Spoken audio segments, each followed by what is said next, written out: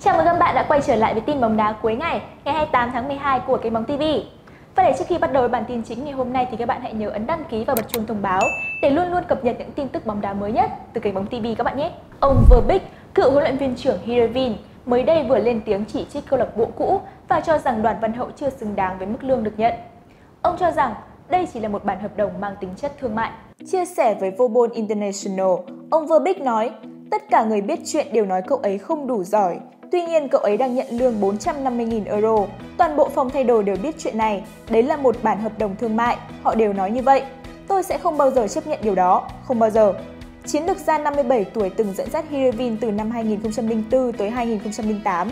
Ông vẫn theo dõi tình hình của đội bóng cũ. Trước các quyết định của ban lãnh đạo đội, Verbeek bức xúc so với các câu lạc bộ khác, thời gian dường như vẫn đứng yên.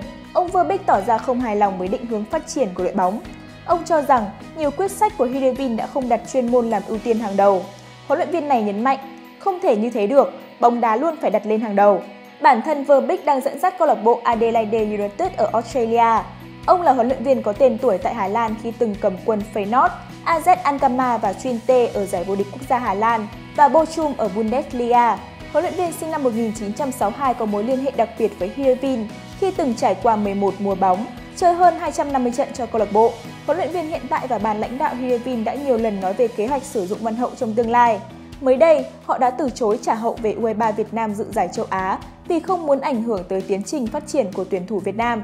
Các bạn nghĩ sao về phát biểu của cựu huấn luyện viên Heerenveen? Hãy cho mình biết dưới phần bình luận nhé! Mới đây, Vidal vừa quyết định khởi kiện chính đội bóng của anh vì tố Barca quỵt 2,4 triệu euro tiền thưởng mùa trước. Mâu thuẫn liên quan đến vấn đề tiền bạc nhiều khả năng khiến mối quan hệ giữa Vidal và Barca thêm phần rạn nứt. Số tiền này được cho là nằm trong điều khoản hợp đồng đã ký giữa ngôi sao người Chile và đại diện xứ Catalonia. Theo đó cho phép Vidal nhận một khoản tiền thưởng nếu thi đấu đủ 60% số trận đấu của câu lạc bộ. Ở mùa giải 2018-2019, Vidal ra sân 53 lần trên mọi đấu trường. Barca kết thúc mùa giải với chức vô địch La Liga và tiến đến bán kết Champions League. Theo ABC, tiền vệ 32 tuổi tin rằng mình đã chơi đủ số trận để có thể nhận tiền thưởng. Tuy nhiên, các quan chức của câu lạc bộ lại cho rằng Vidal hiểu sai về các điều khoản trong hợp đồng. Đúng là Vidal thi đấu 60% số trận của Barca, thế nhưng anh lại không đá ít nhất 45 phút trong rất nhiều trận đấu. Chính điều này trở thành cơ sở để đội chủ sân Camp Nou tin không phải trả tiền thưởng cho ngôi sao Nam Mỹ. Giữa Vidal và Barca cũng lấn cấn chuyện tiền thưởng liên quan tới thành tích của nhà vô địch La Liga mùa 2018-2019. Cụ thể, Vidal yêu cầu câu lạc bộ phải trả cho mình 2,8 triệu euro tiền thưởng sau khi Barca lọt tới vòng bán kết Champions League. Tuy vậy, Barca lại khẳng định chỉ có nghĩa vụ thanh toán một nửa của số tiền trên. Cũng theo Vidal, đại diện xứ Catalonia đáng nhẽ phải trả cho mình hơn 4 triệu euro, nhưng giờ anh mới nhận được gần 1,7 triệu euro. Hiện tương lai của Vidal ở sân Camp Nou rất ảm đạm. Tiền vệ này được cho là không còn nằm trong kế hoạch của huấn luyện viên Valverde. Trước trận siêu kinh điển, Vidal từng làm mình làm mẩy vì biết không được xếp đá chính thức. Cùng lúc, truyền thông Italy đồn thổi Inter Milan rất muốn chiêu mộ Vidal. Báo giới Tây Ban Nha tin Vidal quyết kiện tụng Barca hỏng gây sức ép cho câu lạc bộ phải để anh ra đi. Thông tấn AFP đưa tin, hôm 27 tháng 12, Nga đã gửi yêu cầu lên cơ quan phòng chống doping thế giới WADA để bắt đầu thủ tục kháng cáo lệnh cấm thể thao Nga tham dự Olympic 2020 và World Cup 2022. Yuri Ganot, Tổng giám đốc cơ quan phòng chống doping Nga cho biết rằng Hôm nay chúng tôi đã gửi tài liệu cho WADA, trong đó có tuyên bố về việc Nga không đồng ý với các lệnh trừng phạt của tổ chức này. Tuyên bố này sẽ mở màn cho việc kháng cáo lệnh cấm tại Tòa án trọng tài thể thao quốc tế có trụ sở tại Lausanne, Thụy Sĩ. Tổ chức WADA cũng đã lên tiếng xác nhận về thông báo từ phía Nga và cho hay sẽ sớm gửi thông tin lên CAS.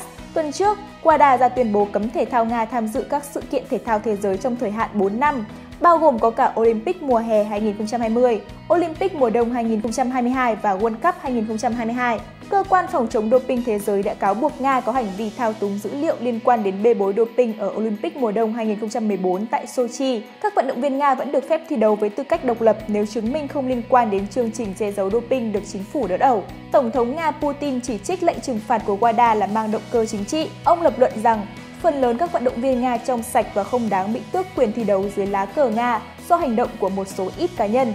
Trong khi đó, Quet Ridley, chủ tịch của WADA khẳng định rằng họ đã đưa ra một quyết định đúng đắn.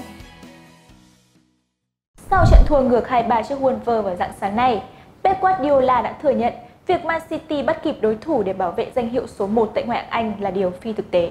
Mùa giải 2019-2020 của Premier League đang diễn ra với rất nhiều bất ngờ, nhất là phong độ có phần tệ hại của Man City. Ở vòng 19 vừa qua, các nhà đương kim vô địch dù đã dẫn trước 2-0 ngay tại sân của đối thủ sau cú đúp của Raheem Sterling, nhưng Man City lại để bị ngược dòng và thua 2-3. Kết quả này chính thức đẩy nửa xanh thành Manchester vào thế khó khi khoảng cách với Liverpool giờ đã là 14 điểm.